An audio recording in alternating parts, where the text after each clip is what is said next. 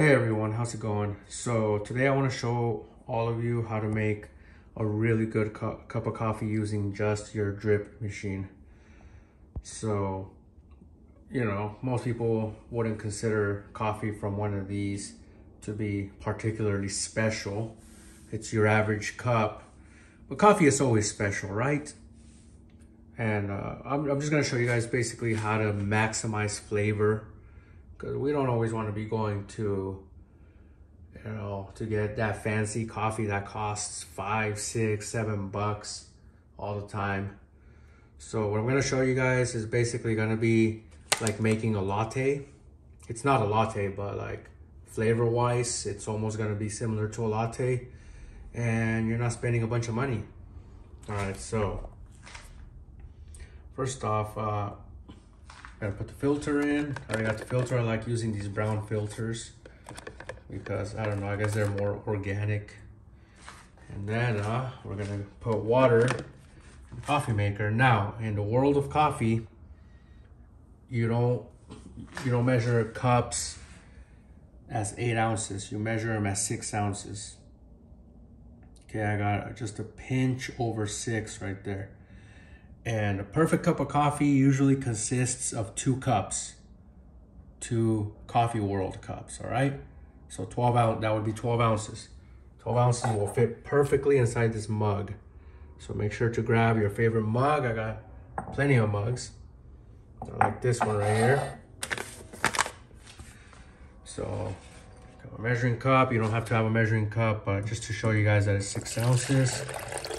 There's one cup do a second cup. Flip it to the outside. Yeah, my measuring cup looks dirty. It's not, it's just water spots on it. Can I get a cleaner mug? This one's dirty.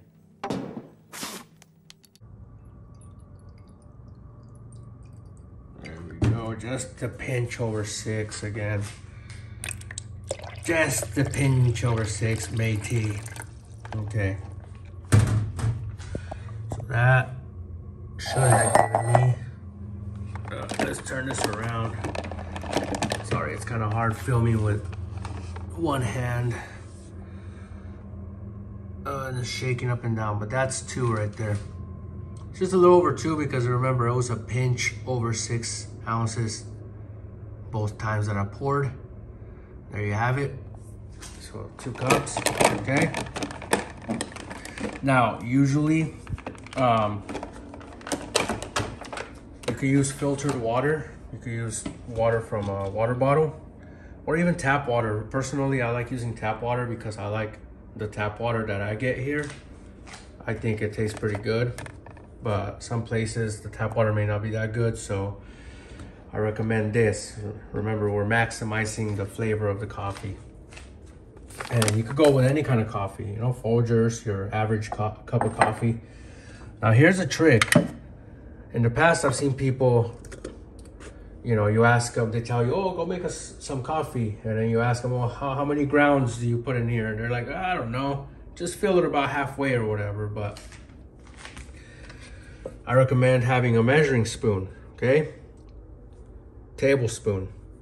Now, according to the bag and most uh, most coffee products, it's usually two tablespoons per cup of coffee or two tablespoons per six ounces. Now, this coffee in particular is what I've got in here.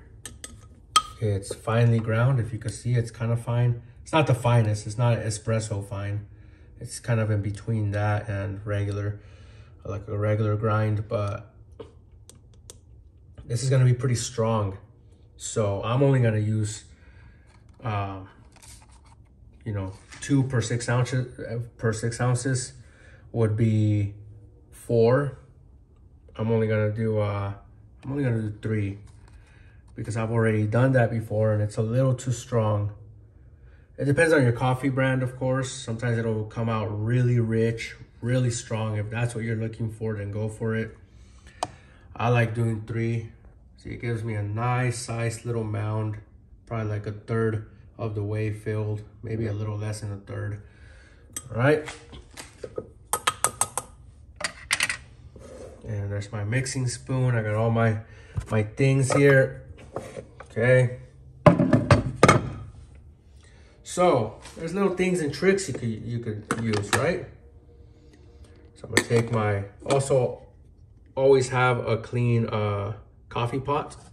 If it's clean and you don't have residue from like a pot that was made a couple days ago, it'll taste better because it's clean, good coffee, and it's not gonna mix with the residue in there. Because uh, coffee residue that's days old could kind of get stale or whatnot. So your little trick, guys, get some vanilla, pour in a couple drops just like that you know just a little. You could you could do more if you want. That's all i use right there just a little bit. That's gonna add a little more flavor to my coffee. Remember we're maximizing the flavor. All right. So we're gonna go ahead and get this thing started. And i should brew up in about one to two minutes i've had this coffee maker for a while Sometimes when they're brand new, they brew up like in 30 seconds. See, this one's starting up slow. All right, so our cup of coffee is ready. So I'm gonna go ahead and shut this off. Usually once it finishes brewing, I leave it I leave it on for like about a minute extra just to get it nice and hot. That way my coffee stays hot longer. Another tip too is you don't wanna you don't want to leave this sitting here with the burner on for too long because what happens is it burns the flavor out of the coffee and if you've ever been to your break room at work or even to some some cheap coffee house somewhere and it's they've had their coffee sitting on on the warmer for like a long time. You can smell it like it smells burnt sometimes. And when you taste it it just it doesn't taste that good. I mean some people don't care. Some people you know you know they, they, they've always had it that way and it, that's fine you know but you'll taste the difference. Trust me. You don't want to burn your coffee up. You want to preserve the flavor. So here we go. Always pour it slow because i've noticed when you pour fast it'll drip down the the wall or the side of the pot and end up making a mess see that that's 12 ounces right there. Okay. There's plenty of room for cream and sugar. Now, me personally, I always like to get a quick little taste of it before I add that stuff in. Okay.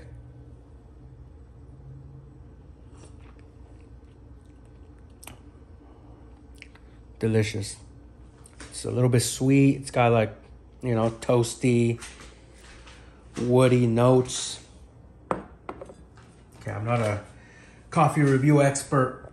So, here's what we're gonna do to make it seem like a latte flavor-wise, all right?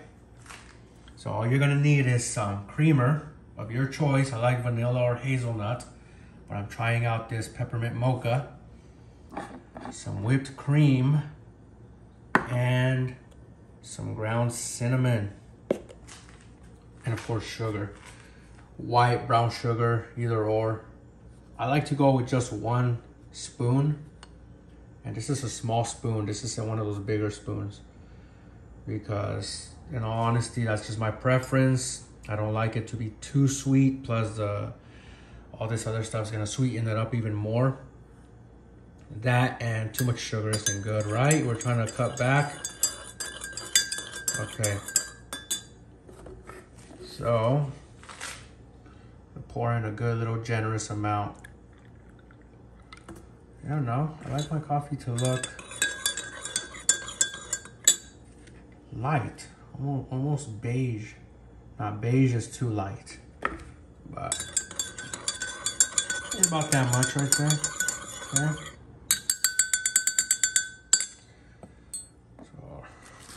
Whipped cream. I don't like how this whipped cream comes out. There's some whipped creams, if you can find the right one, that come out nice and creamy and soft. This one comes out all rough looking. And then a little bit of cinnamon. Cinnamon and vanilla are Perfect. There we go. So there you have it. This right here should taste very similar to a latte, even though it's not a latte. And yeah, I mean, all this stuff will cost you a few bucks, but you'll get dozens of cups of coffee out of this. So you're really getting a delicious cup of coffee for probably less than 50 cents a, a, a cup, you know, a mug.